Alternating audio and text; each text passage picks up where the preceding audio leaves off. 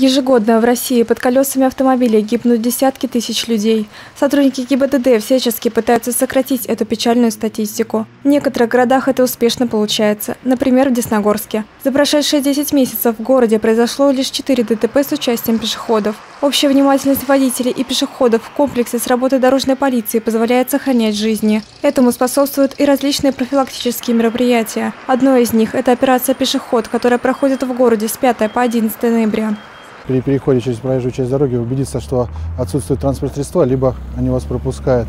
А к водителям при приближении к пешеходному переходу снизить скорость и убедиться, что на пешеходном переходе отсутствуют пешеходы. Во время профилактического мероприятия инспекторы будут следить за тем, чтобы все участники дорожного движения соблюдали рекомендации и правила. Особое внимание уделят таким нарушениям ПДД, как переход в неположенном месте и невыполнение водителями требований уступить дорогу пешеходам. Сотрудники ГИБДД просят всех уважать друг друга и быть внимательнее. Ирина Нурматова, Юлия Соболева, Александр Ерофеев, Десна ТВ.